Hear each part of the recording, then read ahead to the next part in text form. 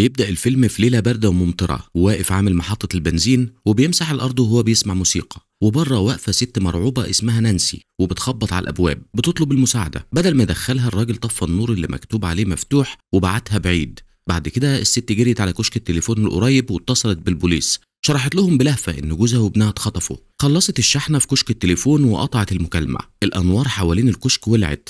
والست صرخت بعد ما الضوء بهرها وبعد ثواني الراجل طلع من المحل ودور على الست. راح على مكان كشك التليفون لكن كل اللي لقاه كان المنصة الأسمنت اللي كان عليها الكشك. الراجل اتفاجئ ولف علشان يرجع للمحل. لما كشك التليفون طلع تاني ووقع على المنصة. بعد كام ساعة وصل الشاويش مورفي لمحطة البنزين ولقى محفظة نانسي في الأنقاض. تساءل عن مكانها قبل ما يبص للسماء. وفي شقة في المدينة خلصت أبريل مكالمة مع أمها وهي بتشيل شنطتها للعطلة الأسبوعية. سألت صديقها كايل إذا كان متأكد إنه عاوز يروح معاها. قال إنه متشوق يروح بعد فصل دراسي صعب. بعد كام دقيقة أبريل عملت مكالمة فيديو مع أبوها واللي مش مصدق إن أمها بتخليها تسوق للكوخ علشان تصور. هو شايف إن مراته السابقة بتبيع البيت علشان تزعله قبل ما يطلب من بنته ترجع حاجات من هناك. أبريل عملت قايمة فيها بندقية من القبو وبعد كام دقيقة صاحبها سيف ظهر على جرس انتركم أبريل. سألها ليه متأخرة؟ كايل ما كانش قال لأبريل إنه دعا سيف وصديقته ليكس وصاحبه من الطفولة ميلاني على الكوخ. أثناء السواقة سيف ولع شعلة جوه العربية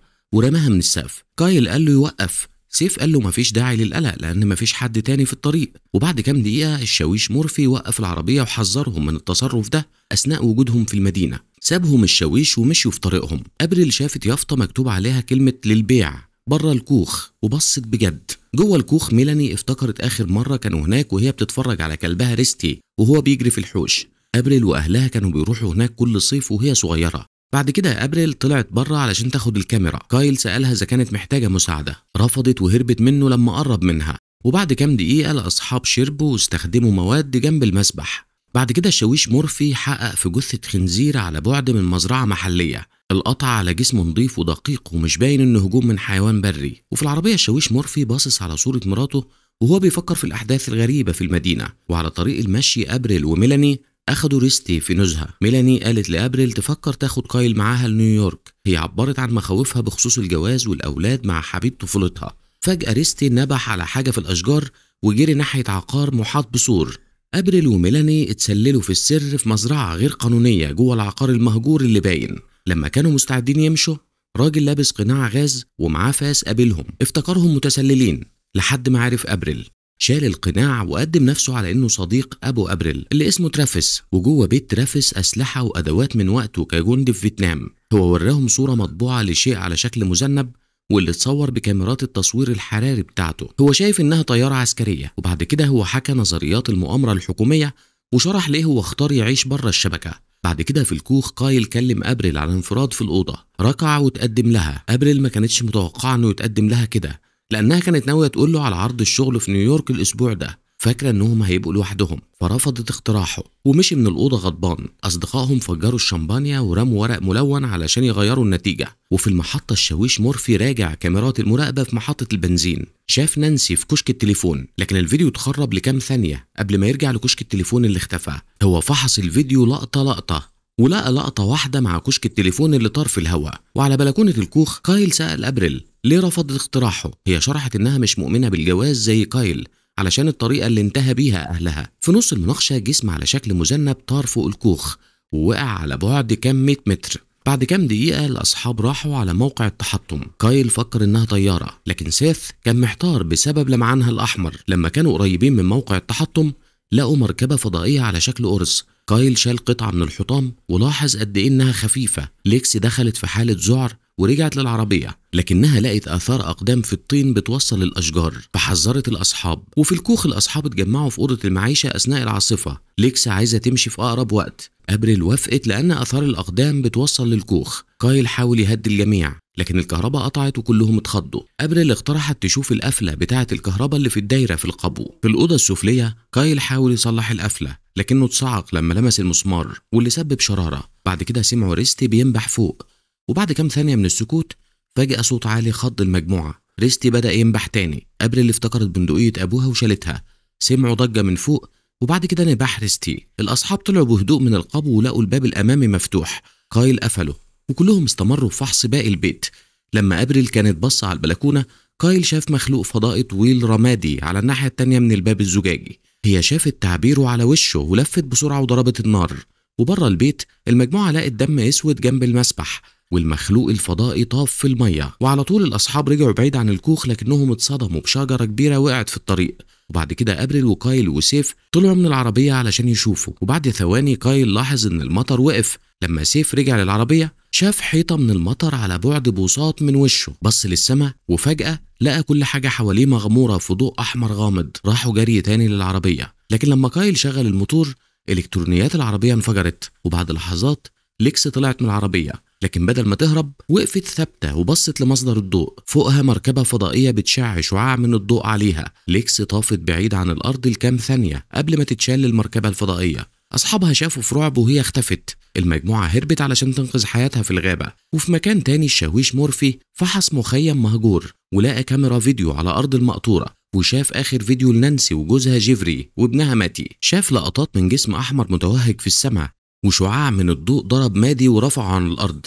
فجأة الشاويش سمع صوت من أوضة النوم وراح يشوف. جوه أوضة النوم نانسي طلعت من الدولاب ورفعت مضرب بيسبول في الشاويش لكنها فوتته.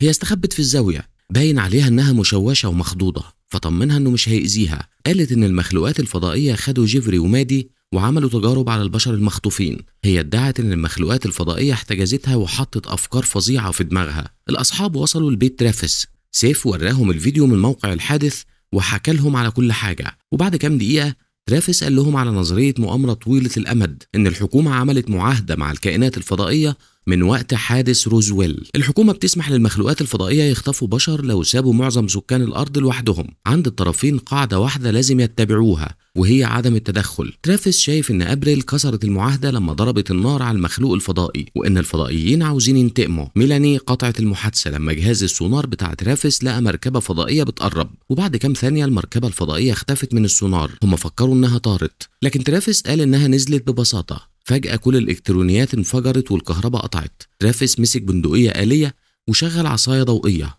وقال لهم يتحركوا. المجموعة مسكت عصاية ضوئية وجريت. ترافيس قال لأبريل تروح على طريق يرجع للكوخ.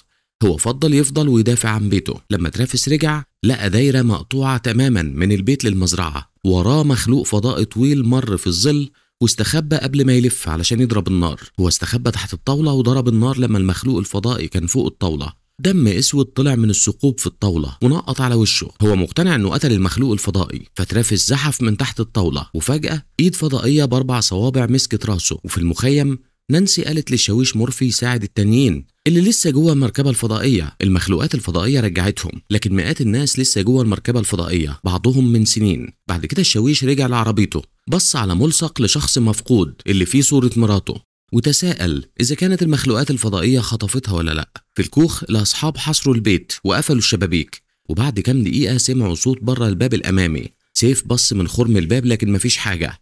أبريل بصت ولقت نفس الحاجة لحد ما المخلوق الفضائي رجع.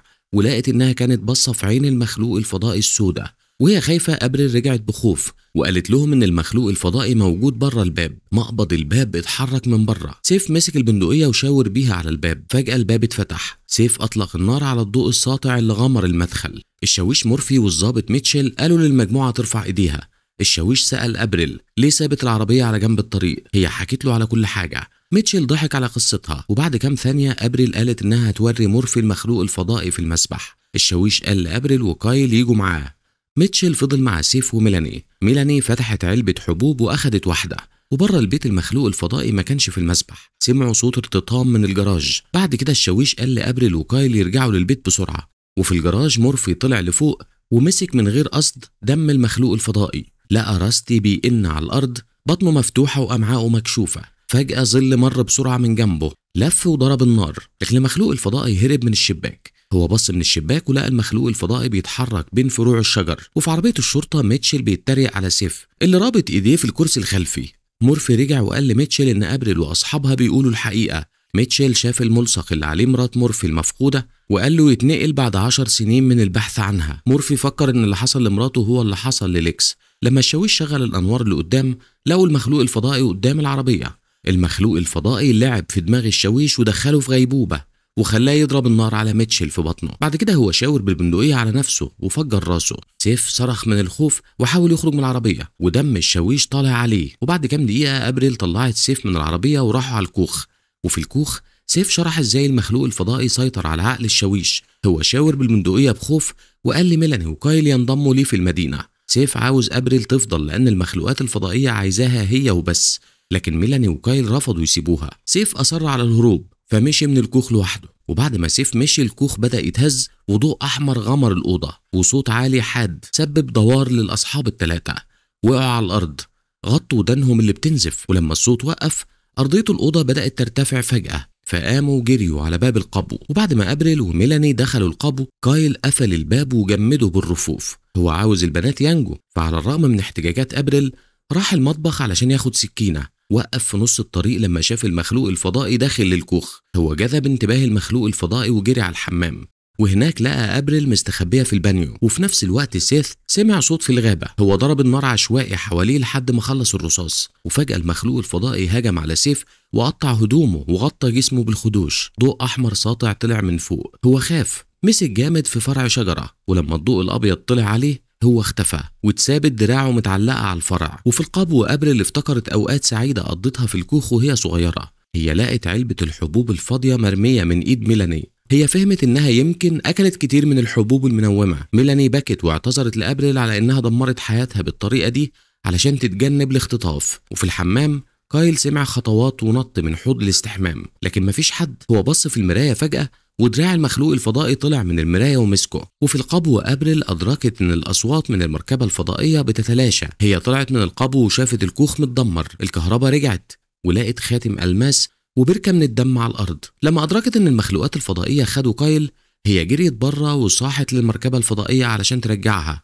وهي يأسة هي أشعلت الألعاب النارية. ووجهتها ناحية المركبة الفضائية وهي بتعيط. بتتمنى إنهم ياخدوها معاهم. فجأة ضوء أحمر غمرها وبعد كده شعاع من الضوء الأبيض شالها للسماء. وعلى المركبة الفضائية أبريل صحت وهي ملفوفة في شبكة سودة لزجة. هي قطعت الشبكة واتحررت من القيود. وبعد كده هي مشيت لنهاية النفق ولقت هيكل فضائي ضخم وقت ما المركبات الفضائية بتطير. وفي مكان تاني سيف مقيد على طاولة عمودية وبيتلوى من الألم. دراع آلي أطلق حشرة فضائية لجسمه. الحشرة زحفت جوه سرة بطنه هو صرخ من الألم.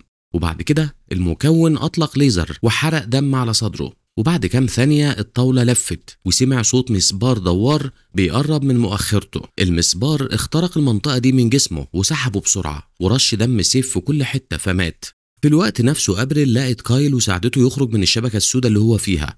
هي بكت واعتذرت لرفضها اقتراحه. قالت إنها كان لازم تقول إنها موافقة. كايل صحي أخيرا. وحضنوا بعض. هم لاحظوا إن المخلوقات الفضائية بتتفرج عليهم. واحد منهم شاور بدراعه والضوء الأبيض غمرهم. وبعد لحظات أبريل وكايل صحيوا في وسط الغابة. هم وقفوا بسعادة بعد الحادثة. مسكوا إيدين بعض ومشيوا مع بعض. بعد كده هم سمعوا أصوات من مركبات قريبة ومشوا ناحيتها. في منطقة مفتوحة هم شافوا الجيش. وأبريل طلبت المساعدة بابتسامة على وشها. لما كانت بتقرب واحد منهم ضرب النار على بطنها وهي وقعت على الأرض. كايل حاول يوقف الجنود لكنهم ضربوا عليه نار كتير وهو وقع جنبها. لما كانوا واقعين على الأرض أبريل أعطت خاتم ألماس لكايل وهو حطه في صباعها. بعد كده الجنود خلصوا المهمة وضربوا عليهم نار عن قرب. وبعد كام متر ضابط عسكري رفيع المستوى قال لراجل لابس بدلة سودة عن الحادث اللي حصل الليلة اللي فاتت. هو قال إن العاصفة سببت تحطم المركبة الفضائية والخسائر كانت قليلة. وفي موقع التحطم رجالة لابسين بدل واقية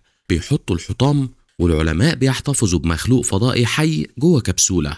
وفي نفس الوقت الجنود رموا جثتين أبريل وكايل في حفرة في الأرض وحرقوا الجثث قبل ما يدفنوهم في عرض تاني من الشر البشري والظلم ضد الذات. ودي نهاية الفيلم ونتقابل في تلخيصة جديدة وشكرا للمشاهدة.